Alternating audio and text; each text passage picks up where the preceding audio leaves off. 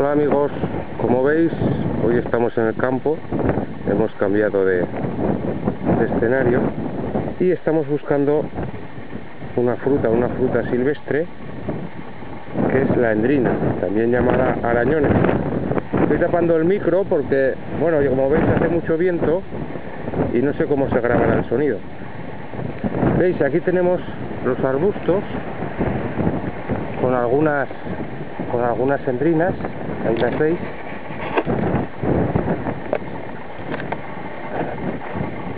Y estos arbustos pues son silvestres y veis suelen salir en pequeñas laderas entre los campos. Y todo esto de aquí todo esto de aquí son endrinas lo que pasa que estos tienen muy poco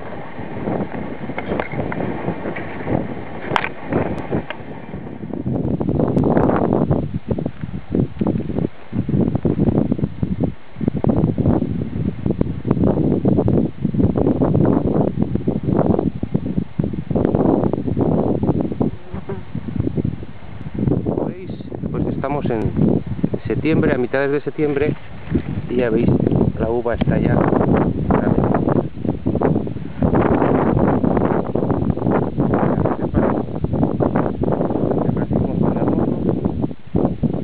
están unos días ya a vendimia. Pero a lo que vamos es a esto. Mirad esta, esta planta que hermosa y está cargada de endrinas y lo que vamos a hacer con vamos a coger para hacer pacharán. En casa.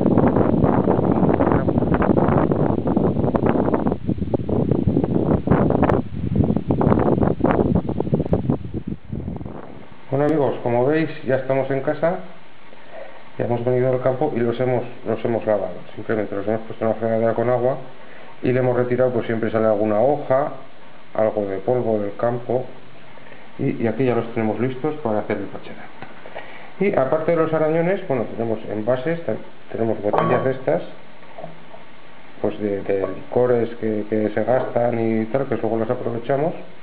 Y también tenemos un garrafón este es de 5 litros que bueno pues haremos 5 o 6 litros este año. Y tenemos café. Café tostado, café tostado eh, mezclado distintas variedades que echaremos un, un, un puño así pequeño de café a cada litro. Y aquí tenemos pues casi lo más importante con los arañones que son que es el anís.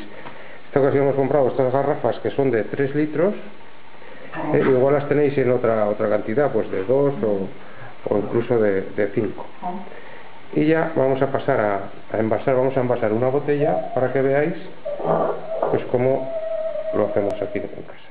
Bueno, y ahora vamos a pasar a embotellar. Vamos a hacer una, una botella de un litro de muestra para que veáis las cantidades que nosotros tradicionalmente siempre en mi casa de toda la vida se ha usado. Nos vamos a acompañar de un cartón, de un, cartón de un embudo de cartón para poder echar las endrinas. tenemos ya las endrinas, que como ya he dicho, simplemente las hemos pasado en agua, hemos pasado en agua, y pues ya veis están limpias. Y la medida que tradicionalmente en casa siempre se ha usado, pues es esta. Es un puño, lo que nos coge así en la mano, esta es la cantidad por litro. Entonces ahora con cuidado, con paciencia, vamos dejando que caiga vamos dejando que caiga en el embudo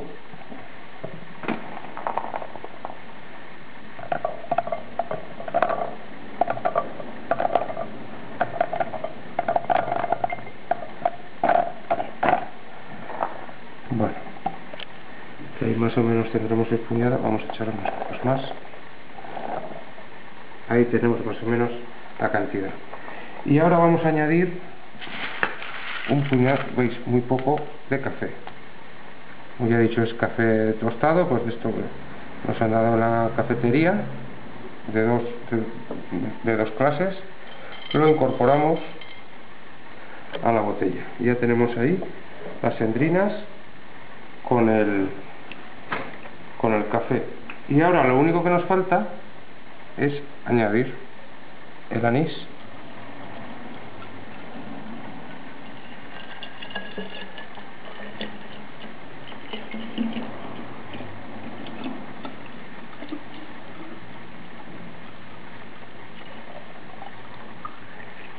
Ahí lo tenemos.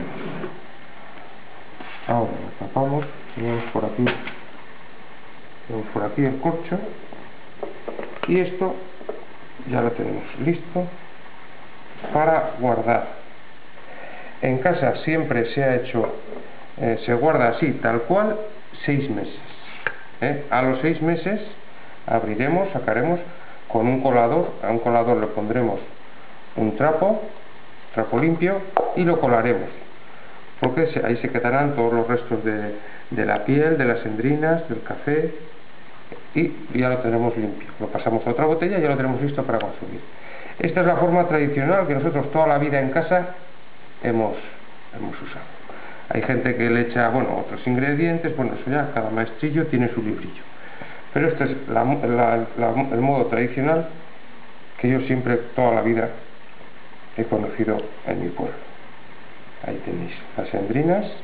Ya veis, ya ha cogido un poco de color. Si os dais cuenta, ya la botella no se ve blanca. He cogido un poco de color,